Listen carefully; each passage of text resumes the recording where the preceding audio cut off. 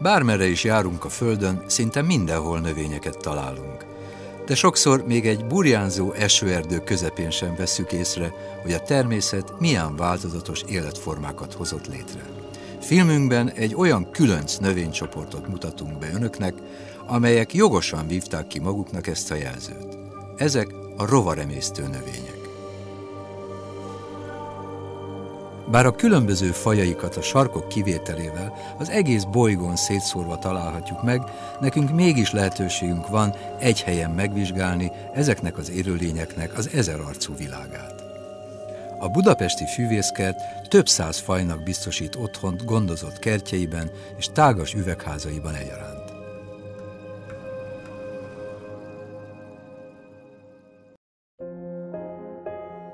Ahhoz, hogy jobban megvizsgálhassuk a növények életét, nekünk kell alkalmazkodnunk hozzájuk. Be kell látnunk, hogy számukra teljesen máshogy telik az idő, mint az emberek számára.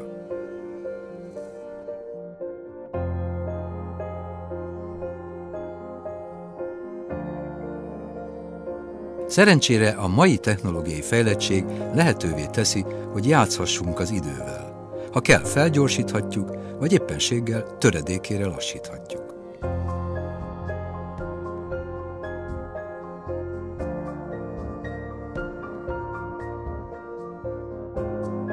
Így teljesen más aspektusból fedezhetjük fel a növények rejtelmes világát. Botanikus kertben több kutató is segítségünkre volt, hogy kiigazodhassunk ezen a szövevényes növénycsoporton. A rovarfogó növények az egész világon elterjedtek. Ennek oka az, hogy egy különleges életforma kialakításával válaszoltak arra a problémára, hogy olyan területeket hódítottak meg, ahol a talajok tápanyag szegénysége miatt a testük felépítéséhez szükséges, esetben nitrogén források nem biztosítottak. Jelenleg mintegy öt családba sorolják őket, több mint 12 nemzetségbe, több mint 600 fajuk ismert, illetve nagyon érdekes, ami egy kicsit az evolúciójuk magyarázatát is lehetővé teszi a tudósok számára. Több mint 300 úgynevezett ősrovarfogó növény, vagy másképpen előrovarfogó növény is található. A rovarfogás öt lépcsőből épül föl, tehát először is a rovart magához kell, hogy csalogassa, aztán ugye meg kell valahogy fogni, utána pedig el kell pusztítani, illetve hát a testét felemészteni, majd pedig fel kell szívnia a a nedveit és hasznosítani. A rovarfogó növények evolúció kapcsán természetesen többféle elmélet létezik, de az, hogy vannak úgynevezett ősrovarfogók, amik ezt a rovarfogást csak bizonyos szintig fejlesztették ki, ez támpontot nyújthat a tudósoknak. Például az Ibicella nevű növény, nek ráragad a, a levelére a rovar, el is pusztul, de semmiféle emésztési folyamat ö, nem figyelhető meg. Tehát elképzelhető például az, hogy ugye a rovarok azért keresik fel a növényeket, mert valamilyen módon tápláléknak tekintik. És a növény védekezik, és ezért egy ragadós nedvet kezd képezni a felületén, amiben a rovar beleragad és elpusztul, és így nem tud kárt okozni a növénybe. És az évszázadok, ezredek során elképzelhető az, hogy a növényeknél bizonyos kémiai folyamatok elindulnak, bizonyos oldódási folyamatok, és hát ezt egy kicsit furcsa így kimondani, de rájön a növény arra, hogy ha már itt van ez a tápanyagforrás, miért ne hasznosítsam, és akkor elkezdődik egyfajta felszívás, pláne azért, mert ugye a növény felületén megtelepedhetnek olyan baktériumok, amik bontják ugye ezeket az elpusztult rovarokat, és akkor ott vannak a könnyen felvehető aminósavak például, vagy vegyületek, és akkor azok valahogy bedifundálnak a növény szövetébe, és valahogy ez így kezdődhetett. Az ibicellához a rovaremésztő növények közül talán legjobban a harmadfüvek hasonlítanak. Ezek is apró szőröket fejlesztettek ki, amelyek ragadós nedvet termelnek. Szinte az egész világon elterjedtek, és ez alól hazánk sem kivétel. Nálunk is van honos faj, a Drosera rotundifolia vagy kereklevelű harmadfű. Itt még nem igazán látszanak, hogy milyenek lesznek a, a levelek, már néhol kezdenek szétnyílni. Ennek oka az, hogy ugye nálunk a télen hűvös, hideg, kedvezőtlen körülményeket kell átvészelnie, és ezért egy ilyen nagy rügy képződik az őszi ősz folyamán, és abban telel át végül is maga a növény, és tavasszal, amikor kezdődik, hogy már több a fény, meg a meleg, akkor ez a rügy így szétnyílik, és akkor láthatóvá válnak a kibontakozó kis levélkék, amelyeknek a végén már ott vannak a kis szőrök, amelyek majd a rovaroknak az elfogását szolgálják. A harmadfüveknél azt kell tudni, hogy aktív csapdásak, amennyiben a legtöbb fajnál a maguk a miricszőrök, tehát amik részben a csalogatásnak a fegyverei, ugyanakkor erre ragadnak rá a rovarok, de ugye az emésztőenzimeket is ebben választja ki, tehát ezek mozognak, illetve vannak olyan fajok, ahol még a levél is bonyolult kémiai ingerek hatására mozogni kezd, és végül is ennek a lényege az, hogy amikor ráhajlik a rovarra, akkor egyre több miricször tapad a rovar testére, és így végül is hatékonyabban végez áldozatával maga a harmadfű. Nézzük meg, hogyan működik a csapda egy éles bevetésen.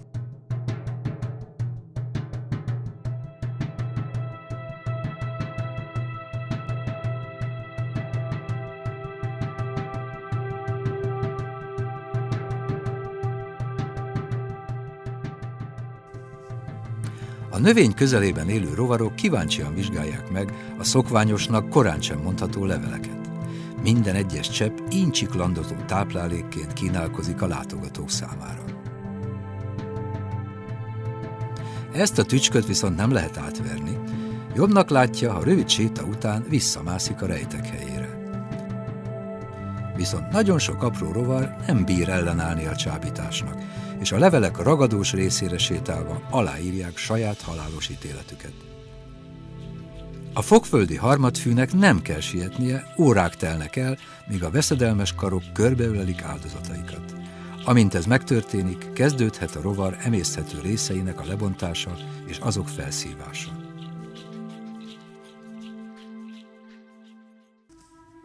A harmadfüvek között találhatunk olyan fajokat is, amelyek nem tudják mozgatni leveleiket, így sűrű, pókhálószerű csapdákat hoztak létre. Ilyen a drozéra bináta, avagy a villás levelű harmadfű is.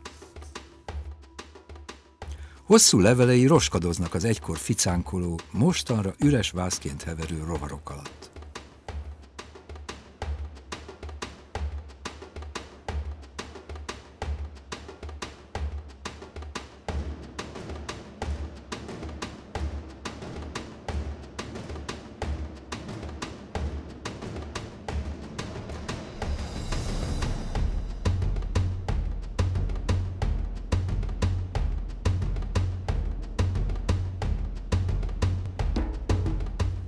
Még a megfontoltabb jószágok is előbb-utóbb azon kapják magukat, hogy nincs menekvés a halálos csapdából.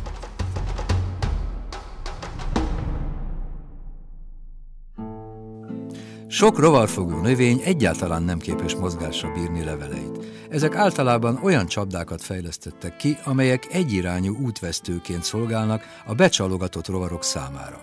Ilyen módszerrel dolgozik a szaracénia, azaz magyar nevén a kürtvirág is passzív csapdás rovarfogók, tehát nem mozog semmi rajta, de olyan mechanikai szerkezetek alakulnak ki a levél belsejébe, aminek következtében a belepotyogó rovarok nem tudnak utána kimászni, és a kürt alján összegyűlő folyadékba beleesnek. Ebbe végül is belefulladnak, megkezdődik az emésztési folyamat, mert ugye ez a folyadék azt is tartalmaz, és így történik végül is maga az egész rovarfogás folyamata. Vannak olyan fajok is, amelyek csak a levelükön található apró szőröket tudják mozgatni. Ezek a pingvikulák, avagy hízókák.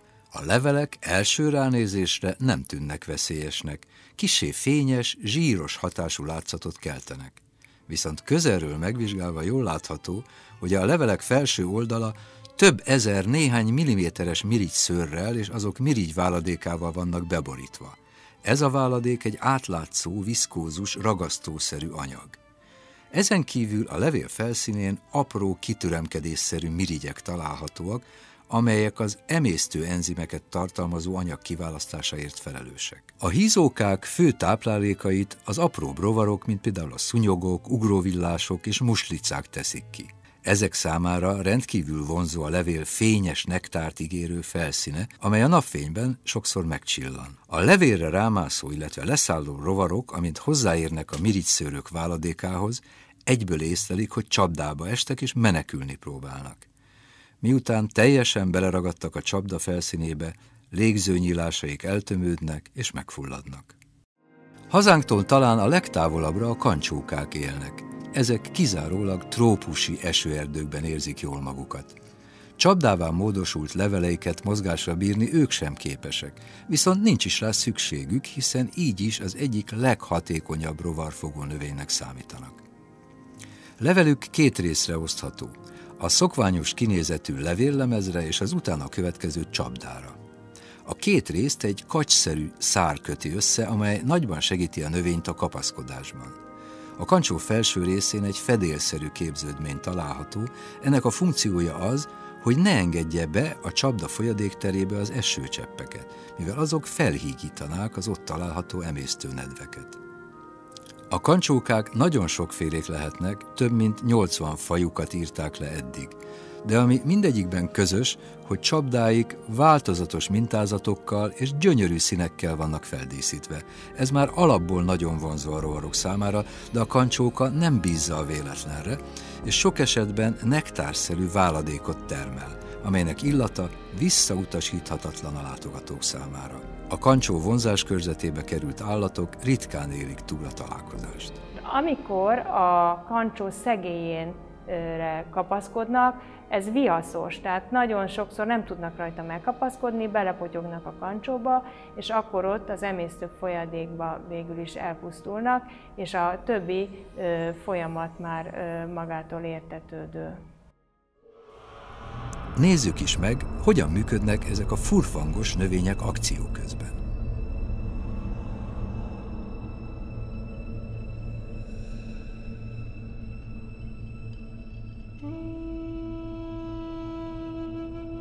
A kancsóka pompásan tündöklik.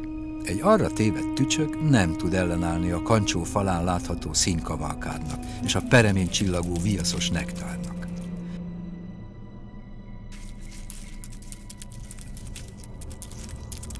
Fedél tetejéről azonban a veszélyt realizálva jó döntést hoz, és elugrik a végzete elől. A csapda éhes maradt.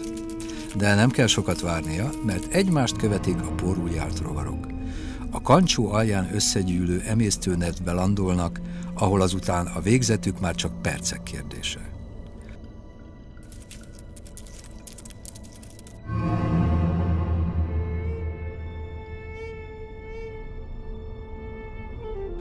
Falon levő emésztőmirigyek, mint a természet ősi hieroglifái figyelik a porulját rovarok utolsó táncát, míg el nem jön a halál ideje, és megkezdődhet a növény számára a lakoma.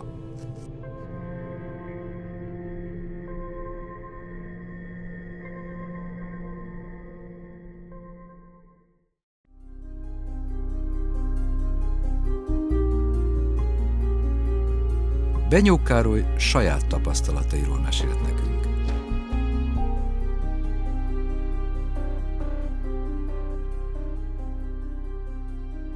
Hát volt szerencsém járni Borneóban, Malajziának két államába, és hát itten elég sok rovarfogó növényel találkoztam, zömökkel, nepenteszekkel, rengeteg drozérával és rengeteg utrikuláriával.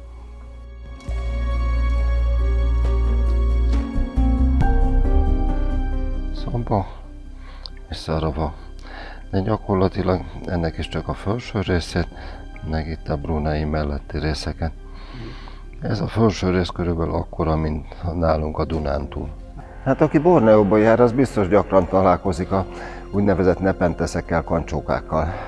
Ez a géncentruma a mancsókáknak. Azon kívül még Dél-Kelet-Ázsiába, Indiába egy-két helyen előfordulnak kancsókák, de ez, itt él a legtöbb endemikus, csak kizárólag, és itt Borneóban találhatók meg. Nagyon érdekes növények, gyakorlatilag bárhol megtalálhatók. Ahol semmiféle növényt nem él meg, na ott valószínű, hogy találkozunk kancsókával. Malajziában a természetvédelem eléggé a helyzet magaslatán van.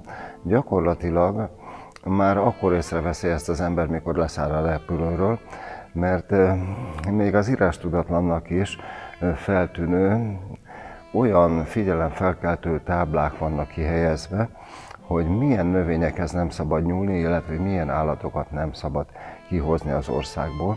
Hát ez úgy nézett ki, hogyha valaki egy ilyen szigorúan védett növényt vagy állatot ki akart hozni, akkor bizony 50 ezer ringit volt a büntetés, illetve halmazati büntetés, hogy 5 év börtönbüntetés.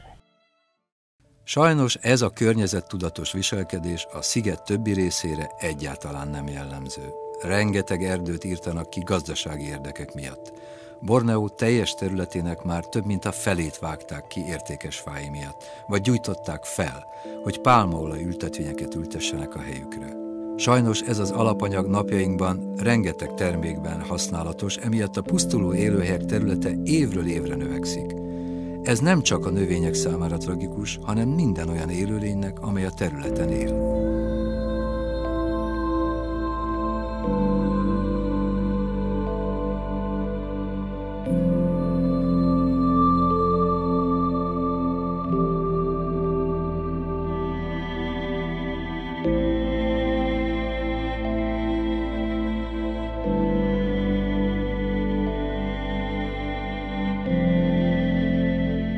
Ez a tendencia nem csak Borneóra igaz, hanem a Föld többi részére is.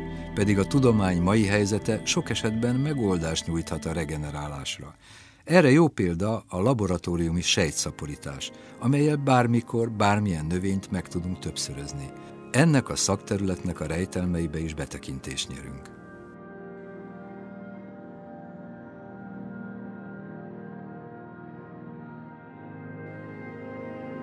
Hát akkor egy pár szót a előzményekről.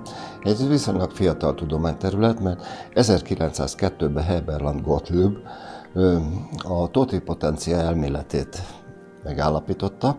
Ez azt jelenti, hogy gyakorlatilag ellentétben az állat és az emberi sejtekkel, a növényi sejt minden egyes sejtje ősejtként fogható fel. Tehát minden egyes növényi sejtből kész növényt lehet regenerálni. Teljesen elszeparáljuk a növényeket a külvilágtól, steril táptalajt hozunk létre, és erre a steril táptalajra, steril körülmények között ráhelyezzük azt a növényi részt.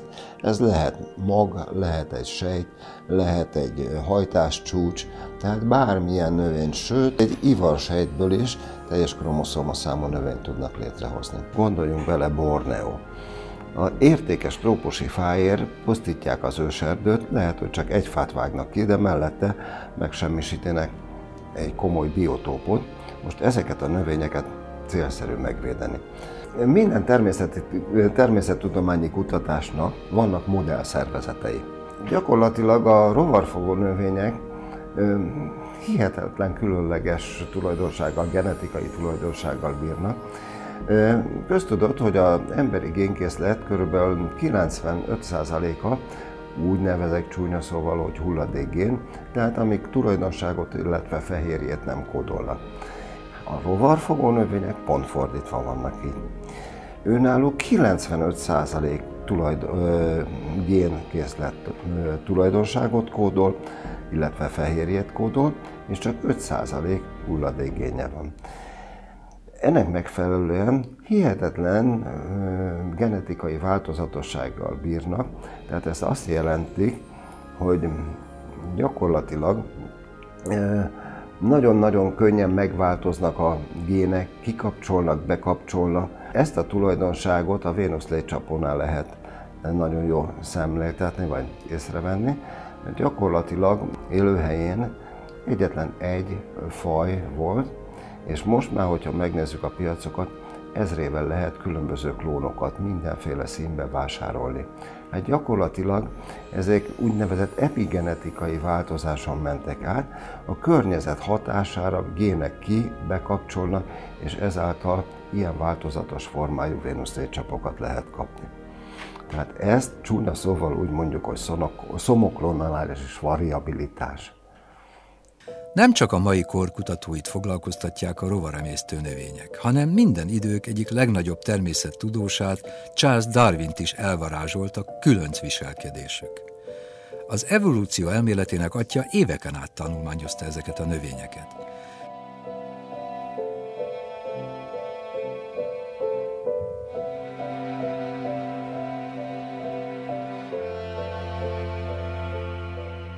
Kísérleteket végzett, és szorgosan lejegyezte ezek eredményeit. Charles Lyellnek egyik levelében ezt írta. Jelenleg jobban érdekel a harmadfű, mint az összes földön levő faj eredete.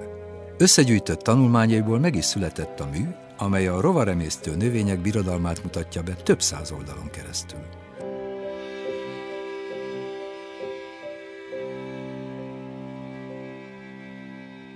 Egyszer még azt is lejegyezte, hogy a legcsodálatosabb növény a Vénusz létcsapója. És nem véletlenül gondolta így, hiszen még a mai napig is folyamatosan kutatják a csapó működési mechanizmusát. Vizsgáljuk hát meg mi is közelebbül ezt a különc élőlényt. A már ránézésre is veszélyesnek tűnő növény precíz műszerként épül fel.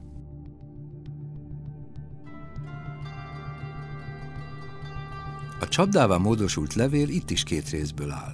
Első része a levélnyél, amely a fotoszintézisért és a csapó megtartásáért felelős. A második része pedig maga a csapda, amely két félkörszerű karimából áll össze. A karimák szélei fésűszerűen tüske alakú képletekben végződnek. A csapda belsejében mindkét oldalon átlagosan három-három érzékelő szőr helyezkedik el. Ezek a csapda kioldó szerkezetei hiszen az összecsapódás csak akkor megy végbe, ha valami 20 másodpercen belül hozzáér legalább két érzékelő szörhöz, vagy akár ugyanahoz egymás után többször. Ha ez bekövetkezik, a csapda összezárul, de még nem teljesen hermetikusan. Ennek pedig az a magyarázata, hogy a növény egérutat hagy azoknak a rovaroknak, amelyek kiférnek a fogak közötti apró réseken, hiszen az ilyen apró zsákmányok kevesebb energiát szolgáltatnának a növény számára, mint amennyi energiát kell az emésztésükbe befektetni. Rendkívül intelligens élőnyek tehát.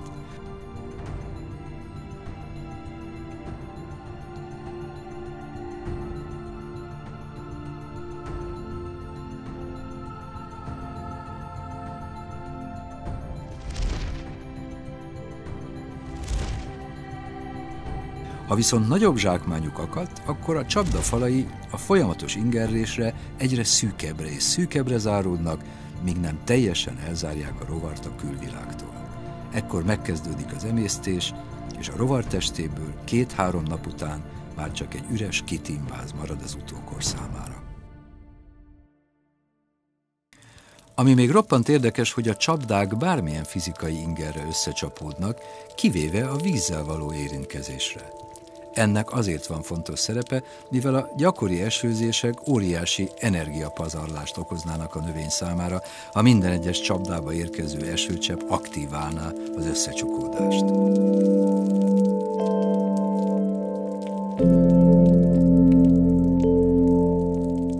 Ebből is látszik, hogy mennyire összetett és kifinomult életstratégiák fejlődtek ki a rovaremésztő növények körében és bár sok mindenre kitértünk filmünk során, higgyék el, még ezernyi rejtély övezi a növényvilág ragadozóit. thank you